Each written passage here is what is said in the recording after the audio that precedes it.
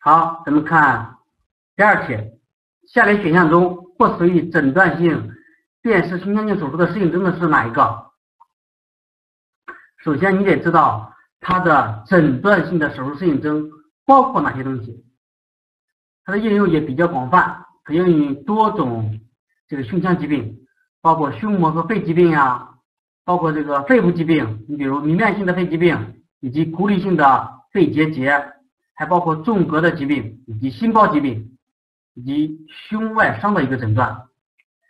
它可以清晰的、全面的观察胸腔内的情况，并且可以照相和录像，并能够获得足够的组织进行病理学的检查。所以综合来说，这个选项应该是第五个，不属于诊断性电视胸腔镜手术的适应症。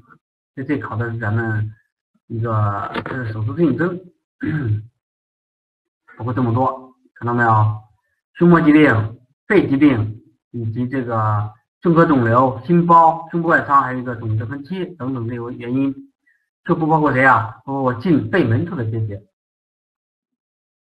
好了，再问你，不属于治疗性变视胸腔镜手术的适应症的是哪一个呀？你看，同样你还得了解治疗性的手术的适应症包括哪些啊？比如胸膜疾病、自发性气胸、血胸、脓胸、乳糜胸，以及这个胸膜肿瘤导致的胸腔积液等等这些问题。还包括什么呀？肺部疾病，是不是？肺部疾病，比如说良性肿瘤的切除、肺癌的根治术，以及。中国肺气肿的一个肺减容，是不是？还能做什么呀？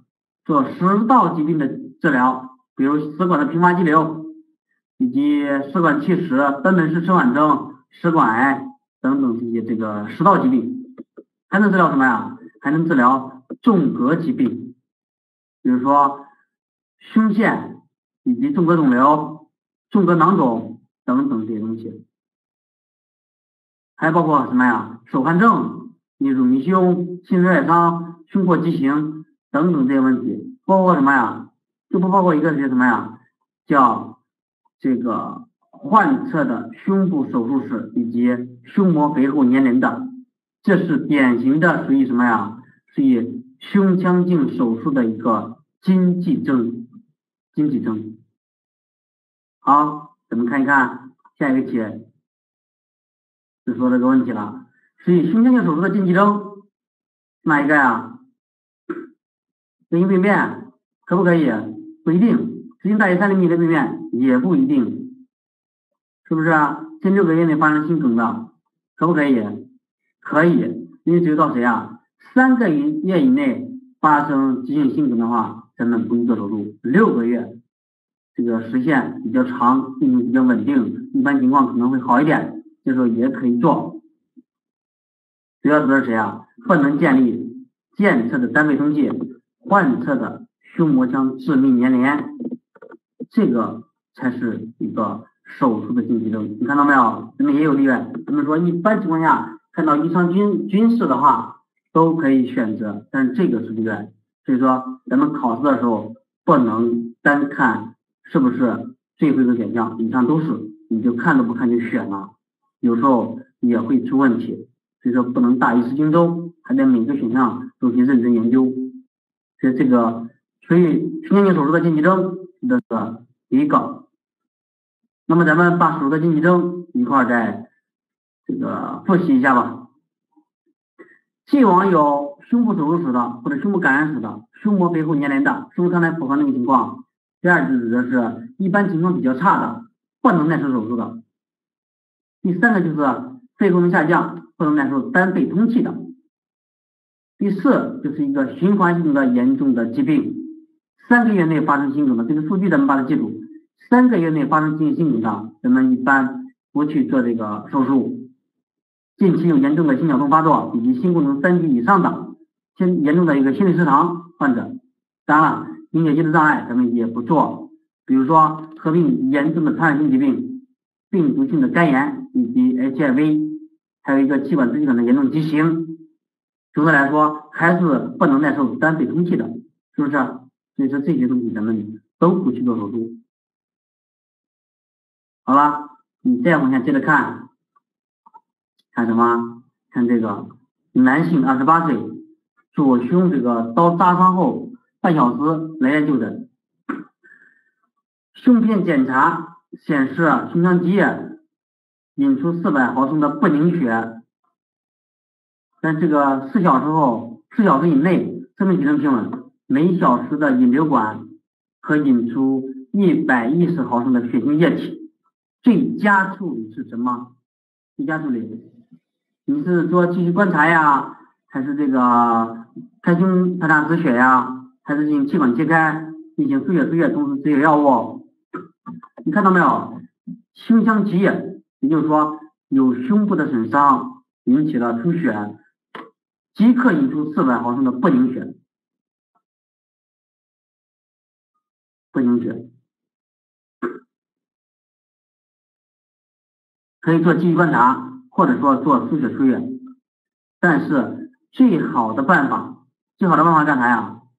进行一个，因为胸腔镜技术出来了，咱们可以做一个胸腔镜的探查以及止血治疗，这是最恰当的一个方法，是不是？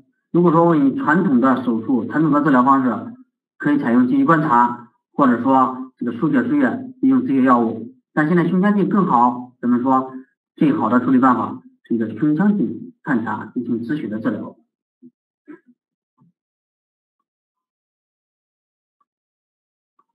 好，咱们这个章节就嗯相对简单一点，而且考的内容不算多。咱们看一看这个第十章的内容：心脏手术的基本措施。基本措施。首先，咱们看一看这个体外循环，体外循环期间的病理生理改变。下列哪一项是正确的？正确的。如果说这个题你不会，如果不会，是不是你？咱们说十个题有九个选这个。如果说有以上都是的，咱们都选它。就是你不会的话，你即使去蒙去猜，你得蒙第几个呀？是不是第五个？是不是蒙第五个？咱们当然了，你们看一看，说对不对？第一个是由于体外循环期间血流模式的改变和边缘介质的产生。影响气管功能，这是对的吧？第二，会造成这个红细胞的破坏呀，血红蛋白升高呀，游离的凝血因子血慢减少呀，凝血机制紊乱呀，这些是对的。第三个，代谢变化表现为代谢性的酸中毒以及高血糖，也对的吧？第四个，血钾的浓度变化比较大，高钾和低钾都比较常见，是不是？就这也是说的没问题吧？说的没问题吧？所以说均衡出现，因为体循环期间呢，会出现这个低温低流量，这个平流灌注导致的血流模式改变，以及这个血液与人工材料接触引起的炎性介质的产生，可以导致机体内环境发生改变，进而影响各脏器的功能。所以说，以上的几种情况均有可能出现。所以这题咱们选择一个总结性的答案。的以上都是好，这个题就考数据了啊，考咱们的记忆了。全身干燥化以后，检测这个全血的激活凝固时间在多少秒以上，可以开始体外循环。肝素是不是抗凝血？是不是抗凝的？全身干燥化是指进行体外循环支持下心内支持手术的前提。注射肝素多少啊？每天个四百个单位进行抗凝，是不是？这个时候做动静脉插管以后，与体外循环系统咱们去做对接，检查这个 ACT，也就是咱们的全血激活凝固时间要在四百八十秒以上才能开始体外循环。所以这纯考的是一个数据上问题。一型一型加型加成动脉瘤手术产生体外循环是什么呀？一型加成动脉瘤病变范围比较广，它指的是从生主动脉根部开始侵犯大部分或者全部的主动脉，包括主动脉弓呀，以及部分或者全部的降主动脉，容易发生破裂，所以说这个时候选用深低温、深低温体外循环，才能保证手术的操作。大家高度重视对神经系统的保护，所以说这题的答案选的是深低温轻循环，是不是深低温？大家要注意啊，对神经系统的一个保护。好，这个答案直接咱们看一看是不是最后一个正确的。第一。边际渗透压，这个心脏停泊液接近正常值，对吧？第二个知道什么呀？普鲁卡因以及这个呃糖皮质激素可增加心肌的保护作用，对不对？停跳液中钾离子浓度特别要注意啊，钾离子浓度是十五到三十毫摩尔每升，可以提供葡萄糖、高能磷酸化合物、氨基酸代谢，保护心肌细胞，减轻缺血带光的损伤。是不是？都对吧？而且临床主要采用这个化学停泊液的方法，方法是干啥的呀？进行体外循环中的心肌保护，通过高钾呀，使心脏迅速停跳，减少心脏的停跳前因为机械活动造成的能力损耗。所以说，咱们说的以上都是符合心脏这个停跳液的一个标准，好吧？所以说，咱们看到这种题，是不是你？你自己也能总结出来一点经验了，极少有选这个分项的，只要有以上都是的，咱们十有八九就可以选，是不是就可以选？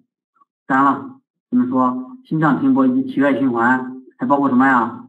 包括人工心、人工肺以及变温系统，还有滤器等等这些东西，咱们也得去掌握，得去掌握。好，这里考的这个东西了。心脏停泊液中钾离子的最佳浓度是不是刚刚看过呀？刚刚看过，是不是？因为心肌细胞的静息电位取决于跨膜钾离子的浓度梯度。细胞外的钾离子浓度增高的时候，这个钠离子细胞内这个速度就减慢了，是不是？就是这个时候，咱们停跳液中钾离子浓度一般认为是。十五到三十毫摩尔每升是最好的浓度，就选择这一个第五个，刚才咱们刚刚看过。好，心脏停泊液的灌注，灌注方法，这个也是考咱们的数据，数据没有什么好的方法，就是在记，是不是？就在记，心脏停泊液的灌注量，咱们一般是十五到二十毫升每千克，间隔三十分钟复灌一次。当然了，目前常用的心肌保护方法有很多，比如说经深主动脉根部顺行灌注，经冠状静脉这个这个逆行灌注，以及血管条灌注。当然了，最常用的是这个深主动脉根部顺行灌注。好，这个数据咱们必须得把它掌握，必须得记住。你数据性的东西，咱们没有太好的这个记忆的方法和方式，咱们必须得下功夫呃记。那么你看一看，高钾血症并发的心理失常，是不是似曾相识？这个题回到什么了呀？是不是和咱们的职业医师考试有相联系起来了？高钾血症是不是钾离子对心脏有毒性作用？是不是？这怎么办呀？怎么办呀？咱们可以静脉注射百分之十的葡萄糖酸钙，缓解。钾离子对心肌的毒性作用，在这个题的答案，就呀，它的浓浓度是百分之十，是不是？百分之十。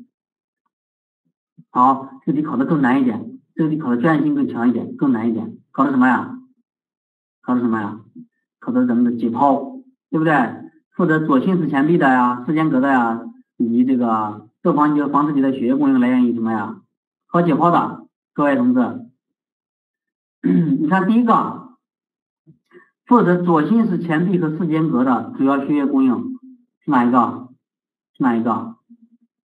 我们首先看一下解剖，是不是？首先看冠状动脉是营养心脏的血管，起源于哪啊？主动脉的根部，是不是啊？可以分为左右两个分支，会围绕在这个心脏的表面，穿透到心肌以内。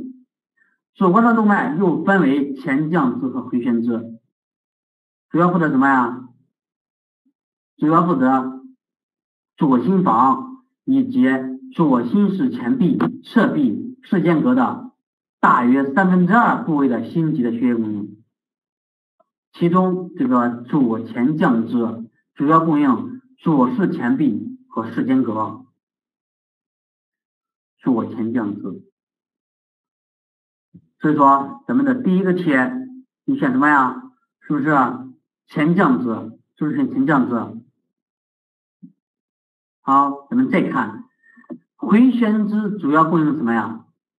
供应这个左室的侧壁和后壁，还有个右冠状动脉主要供应什么呀？右心房、右心室以及室间隔后三分之一部位的心肌，还有什么呀？窦房结、房室交界区等处，它的一个血液供应。所以说，你看后降支发生于哪？后降支发发自回旋支，哪支血管狭窄病变引起猝死，需要尽早外科治疗，是不是？左冠状动脉的主干呀，左冠状动脉主干是不是？负责左心的这一块的。那窦房结和房室的血液供应来源于哪呀？来源于右冠状动脉。所以咱们根据这个解剖，当然了，咱们这种题你能搞到最好，搞不到，咱们去看一看咱们的真题，看一看咱们的这个通识题，咱们有一个印象，是不是有一个印象？尽可能的把它掌握住。这是咱们的整个一个答案的一个解析，咱们有时间还是尽量把它看一看。好，咱们到这个心脏病的外科治疗了，外科治疗了，包括什么呀？包括先天性的和后天性的。咱们首先看先天性心脏病的外科治疗包括哪些？第一，看一看这个题你非常非常熟悉，二三肋间，是不是？或者叫左旋的第二肋间，你都可以判断它是什么呀？动脉导管外壁。但是这个题干上提的是二三肋间。还可能是谁啊？还可能是是什么？房间科缺损，是不是？时间的缺损一般在哪啊？三四肋间。但杂音的性质，咱们同样同样要掌握。咱们后面会有题给大家再把这个杂音它的性质，咱们再来做一个区分。比如说，你看到杂音性质，连续的机器样杂音，这个题。就出来了吧？一二三类间不好判断，到底动脉导管未闭啊，还是一个房间科缺损呢？但是看到有连续性的机器样杂音，它一定是什么呀？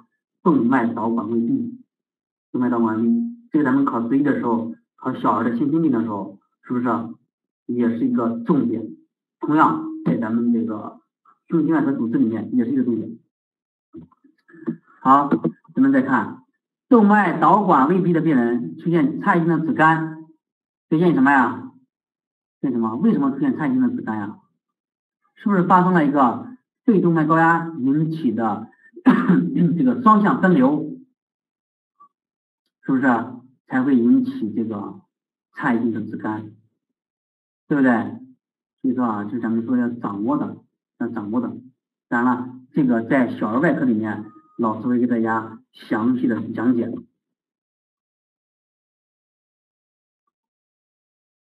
动脉导管外壁的主要病变是什么？动脉导管外壁主要病变是什么？看一看，是蓝孔未闭啊，主动脉气块呀，还是大动脉转位呀，以及狭窄呀？这可能是什么呀？最准确的，动脉导管外壁。主要病变是由于肺动脉与降主动脉之间的胎儿循环未闭合，就叫动脉导管未闭，会引起分流，是不是？引起分流。好，这也是咱们说的这个小儿外科，你重点要掌握的。正常情况下，动脉导管外壁应在哪个时间段关闭啊？在胎儿期间，动脉导管未闭是一个正常的生理所必须的，但是出生以后一般是两到三个月，导管应该要自动闭合，如果不闭合，咱们就叫动脉导管未闭，这也是一个受激性的问题，两到三个月，两到三个月。好，我们问你，动脉导管未闭。最常见的手术并发症是什么？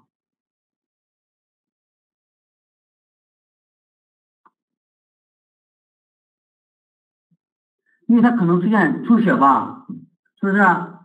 出现出血吧，也可以，也可以出现什么呀？后反神经的损伤，也可以出现假性动脉瘤的形成，也可以出现导管再通。但是最常见的是引起的一个术后的高血压，引起的术后的高血压。看看他，女婴一岁反这个自幼反复的发作肺炎，这个时候胸部 X 片检查可以看到什么呀？肺部的充血。左心影的增大，主动脉这个主动脉结增宽，可能什么疾病啊？左心房、左心室心影增大，这可能什么呀？嗯，是不是也是咱们这个动脉导管未闭？是不是动脉导管未闭？那么为什么呢，同志们？为什么是动脉导管未闭呢？你告诉我，动脉导管闭什么症状呀？第一，它分流量小的话，常常没有症状；如果是中度分流量以上，有劳累后的这个心悸呀、气喘呀，以及乏力、咳嗽等症状。少数病例还可以有发育障碍、容易并发呼吸道感染以及感染性的心内膜炎。晚期的话，可以发生什么呀？心衰。这个时候，如果说已经发生阻塞性的肺动脉高压，则会出现呼吸困难，而且会日渐加重，会出现止干等等这些症状。那么它会出现哪些体征呢？你看一看啊，出现哪些体征？由于心尖搏动增强，心尖搏动增强，向左下移位。心左心界你向左下扩大，所以说胸骨左缘第二肋间偏外侧有响亮的连续性的杂音，而且会向左上的颈背部传导。这个时候我会伴有收缩期或连续性的震颤，出现肺动脉高压可以听到什么呀？收缩期的杂音，还可以知道皮图亢进或者分裂，是不是啊？肺动脉瓣。还有相对性的关闭不全以及这个舒张期的杂音，所以说这个时候咱们要注意，还包括什么呀？还有周围循环征，就是这个就符合典型的符合什么呀？动脉导管未闭。好，咱们再看一看房间隔的缺损，房间隔的缺损，有关房间科缺损的修补术哪一项是错误的？第一个，你看看修补上腔型缺损的时候，应识别是否合并右肺静脉畸形分流，这个是对的吧？第二个，腮状的缺损先剪成单孔，有利于修补，也没问题吧？闭合缺损前注意膨肺排气，是不是也没问题？那么缝合下缘时应注意识别前静脉瓣，同样没问题。那么停止体外循环后，这个输液不能过快，也对吧？也对，这是防止发生的什么心衰呀？防止发生的是一个左心衰，因为啥呀？因为这个停止体外循环的输血输液后，输液不能过快，为什么呀？因为会导致左心室的容量负荷过重，发生左心衰。所以说这一点，咱们就是在左右上做文章，对不对？左右上做文章，就这点咱们要清楚，要清楚，好吧？好，这是咱们考的一个同样是一个细节问题。答案选的是第几个？第四个吧。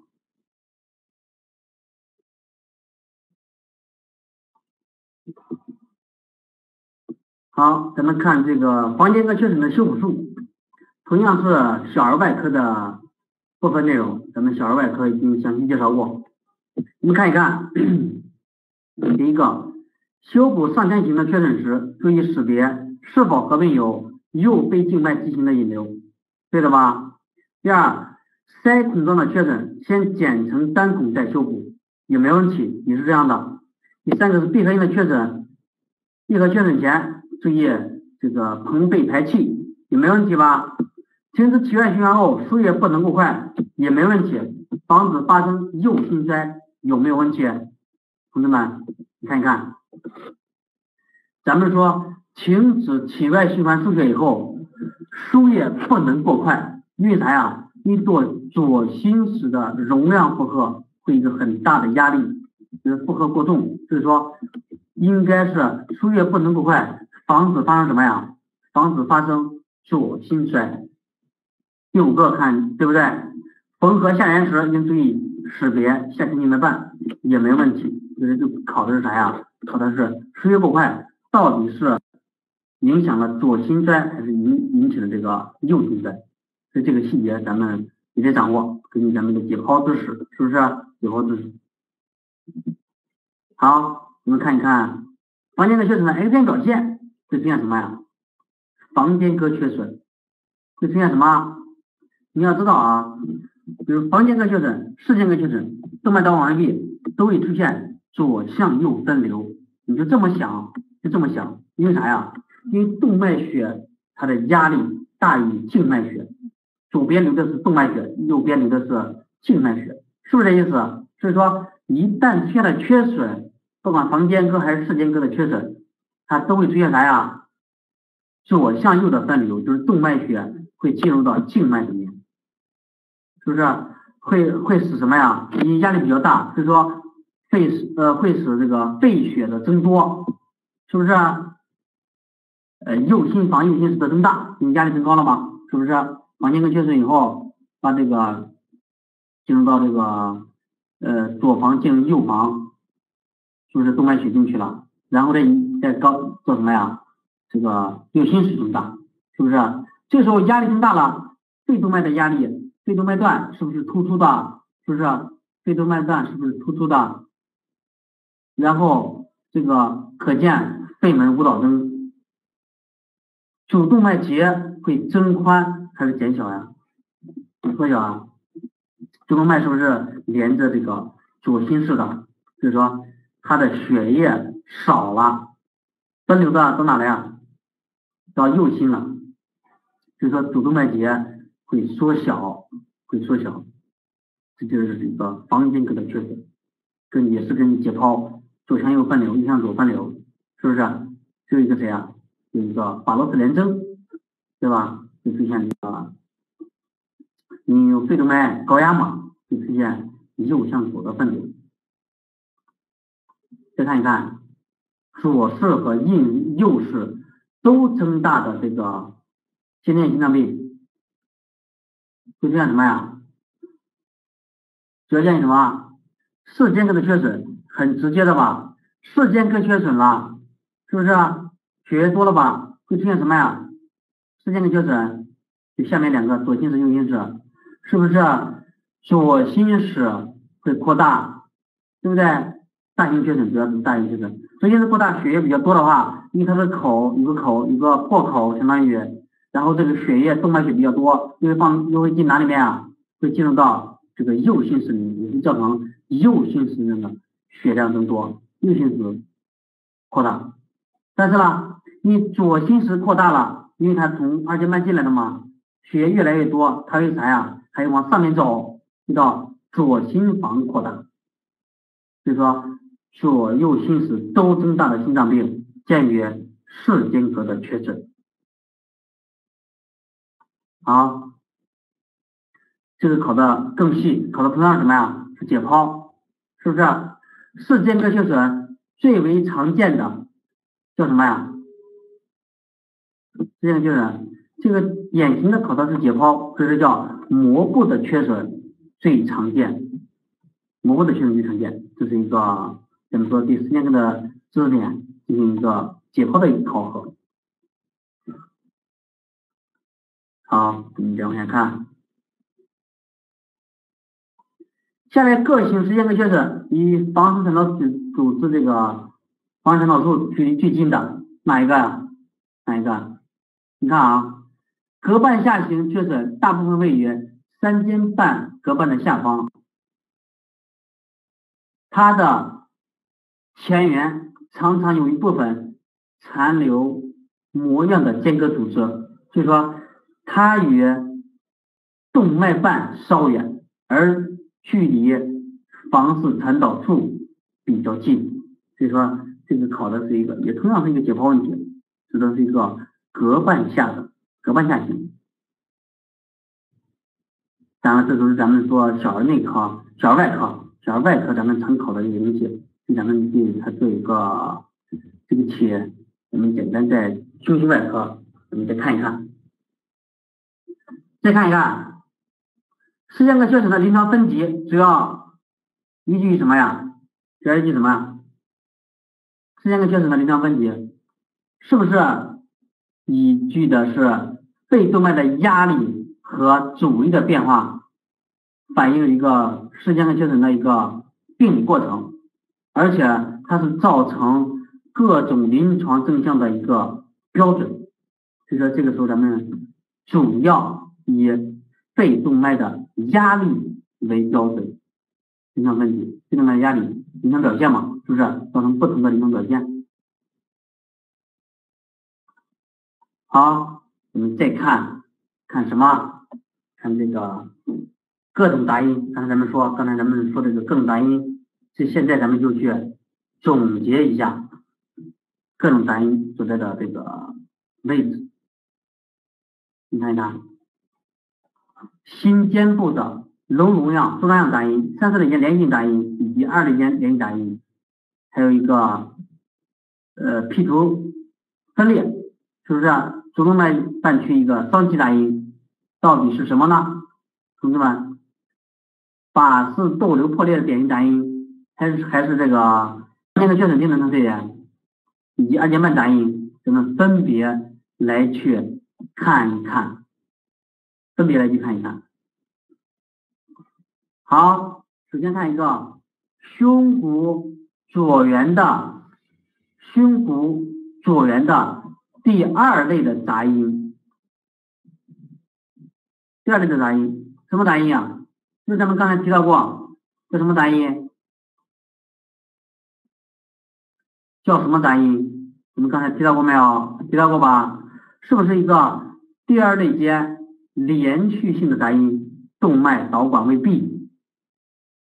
第二类间或者叫二三类间，叫连续的机器样的杂音，是不是它？对吧？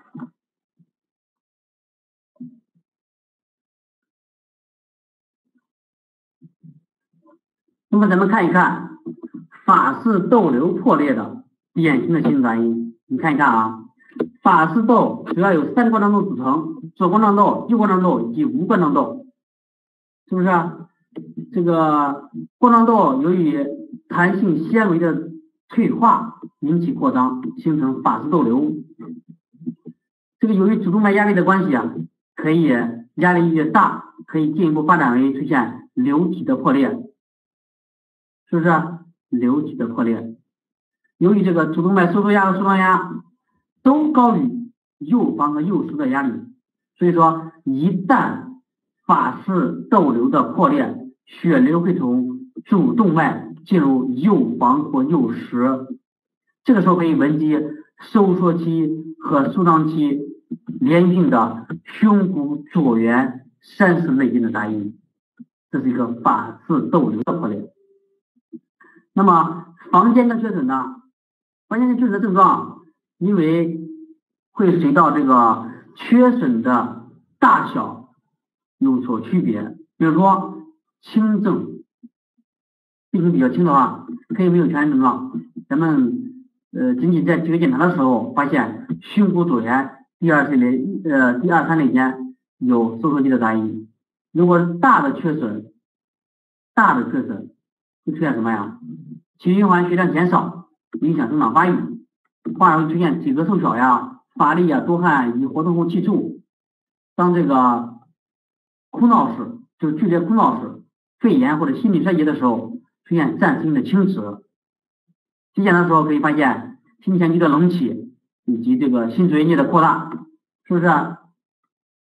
大多数病例可在胸骨左缘的二三肋间闻及收缩肌的杂音，常常从什么呀？喷射性的，是不是？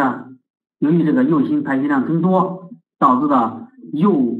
这个心室流出道相对狭窄，也就是说肺动脉瓣狭窄导致的。这个时候肺动脉呃这个肺动脉瓣区会出现第二心音亢进，并且出现固定分裂，而且这个分裂啊不受呼吸的影响。如果说左向右分流量比较大的时候，在胸骨左缘的下方又可以听到舒张肌的杂音。就是先天瓣的相对狭窄导致的，就是咱们说的这个房间上的缺损。那么如果说二尖瓣狭窄呢？二尖瓣狭窄会出现什么杂音呢？一，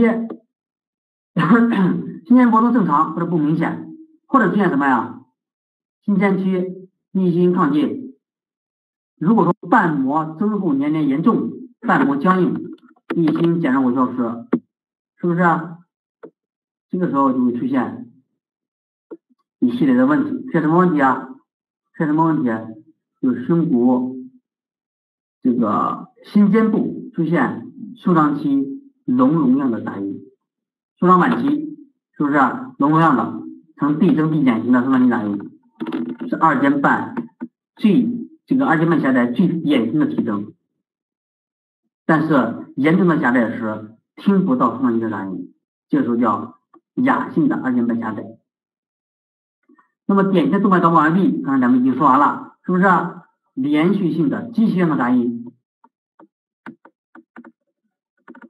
是确定这个动脉导管完毕一个最重要的一个精准的指征。所以这是咱们说的整个对法氏窦瘤、房间的缺损、典型的二尖瓣狭窄以及典型的动脉导管完毕进行治疗。咱们说完以后，你发现四个答案。是不是呼之欲出？法氏窦瘤破裂影响的是胸骨左缘第三四肋间连续性的杂音，房间的缺损指的是左缘第二肋间收缩肌杂音以及 P 图固定分裂。二尖瓣狭窄，心尖部隆隆样舒张期的杂音，即使你判断不了，通过解剖位置，咱们也大概能做一个判断，是不是？大概做一个判断。典型的动脉导管完毕，什么特点？什么呀？左缘的第二肋间连续性杂音，是不是？所以说咱们大概通过解剖位置，也能最起码能做出来几个呀？二尖瓣狭窄你也知道在哪呀？靠近心尖部的隆隆样收张肌杂音，是不是？收张肌杂音，是咱们说的这个呃杂音的性质。好，这个也是考的一个通过杂音的性质，让你选到底是 什么疾病。你看一看，第一个胸骨左缘三四肋间收缩肌杂音，第二心音亢进是什么呀？就是四间隔缺损，四间隔缺损，房间隔缺损一般在哪呀？二三肋间，四间隔缺损三四肋间，动脉导管完毕第二肋间。如果说你掌握不住它的一个机制，就最起码解剖位置你得掌握。动脉导管完毕是不是是靠上去呀？是不是？房在上，室在下吧？房间隔缺损一般在。二三，室间隔缺损在哪呀？三四，是不是？法罗氏联征因为有呃肺动脉瓣狭窄呀，是不是？主动脉瓣这主动脉气跨呀等等这四个，运行是肥大，是不是？等等这四个会造成一个二三四肋间都出现杂音。咱们的小儿外科也给大家介绍了吧？所以说，二三类间，你看房间科缺损，三四类间射间科缺损，是不是？如果第二类间肺动脉瓣减弱口消失，考虑什么呀？